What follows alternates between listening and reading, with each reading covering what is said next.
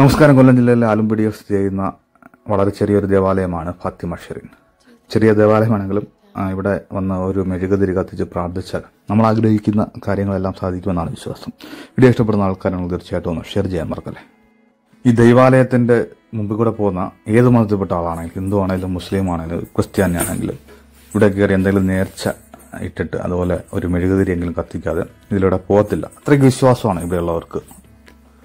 പരിശുദ്ധ കന്യകാമറിയത്തിന് കത്തോലിക്ക സഭ നൽകിയ നാമനിർദ്ദേശമാണ് ഫാത്തിമ മാതാവ് അഥവാ our lady of holy rosary of Fatima ആയിരത്തി തൊള്ളായിരത്തി പതിനേഴിൽ പോർച്ചുഗലിലെ ഫാത്തിമയിലെ കോവാഡ ഇരിയ എന്ന പ്രദേശത്ത് മൂന്ന് കുട്ടികൾക്കുണ്ടായ മറിയത്തിന്റെ പ്രത്യക്ഷപ്പെടൽ അടിസ്ഥാനമാക്കിയാണ് ഈ നാമനിർദ്ദേശം നൽകിയത്.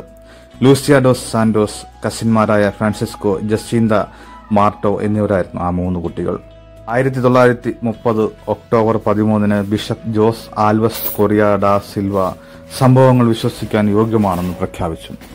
ആയിരത്തി തൊള്ളായിരത്തി നാൽപ്പത്തി ആറ് മെയ് പതിമൂന്നിന് പൈസ് പന്ത്രണ്ടാമൻ മാർപ്പാപ്പയുടെ അപ്പോസ്തലിക നിയമജ്ഞനായ കർദിനാൽ ബെനഡറ്റോ അലോസി മസല്ലോ ഫാത്തിമയിലെ അപ്പാരിയേഷൻസ് ചാപ്പലിൽ പ്രതിഷ്ഠിച്ച ആരാധനയിലേക്ക് ഒരു കാനോനിക്കൽ കിരീടധാരണം നൽകി. ആയിരത്തി തൊള്ളായിരത്തി അൻപത്തിനാല് നവംബർ പതിനൊന്നിന് മാർപ്പാപ്പയുടെ ഹ്രസ്വമായ ലൂസർ സൂപ്പർണ പ്രഖ്യാപനം വഴി ഫാത്തിമയിൽ പ്രത്യക്ഷീകരണം നടന്ന സ്ഥലത്തെ പള്ളിയെ ഒരു ചെറിയ ബസിലിക്കയുടെ പദവിയിലേക്ക് ഉയർത്തുകയും ചെയ്തു.